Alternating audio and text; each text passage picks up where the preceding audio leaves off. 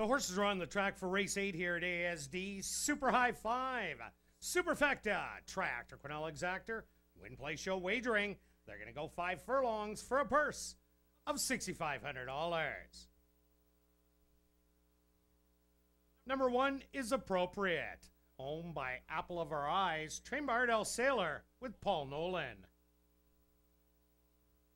Number two is Crystal, owned by Bonnie McCrory or Gary Danielson, trained by Gary Danielson with Jennifer Reed.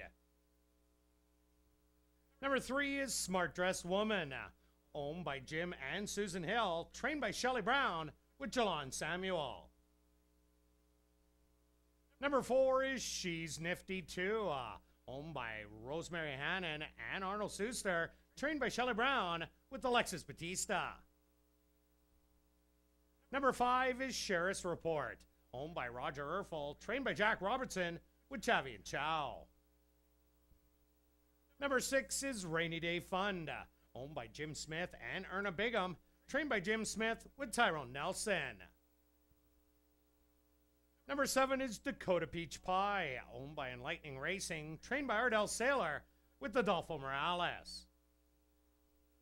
Rounding out the field is number eight, Boston Yo Yo, owned by Triple Six Ranch, trained by Tom Gardipy Jr. with Travis Cunningham. Super High Five, Superfecta, Triactor Quinella Exact. They're at the post. And they're off. From the inside, appropriate is away alertly. Crystal to the outside also has some early speed now. She's nifty too. Uh, takes over the lead. Three wide to Rainy Day Fun. Uh, and then it's going to be on the outside Dakota Peach Pie. And we got another Sheriff's Report in the trailer way back. Boston Yo Yo.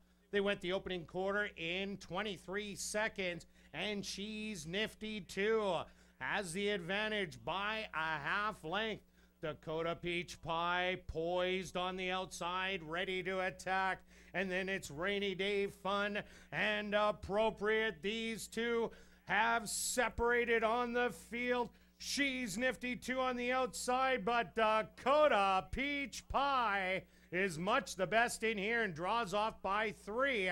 She's nifty too second. Third goes to Rainy Day Fun, close for fourth between Sharp Dressed Woman and Appropriate.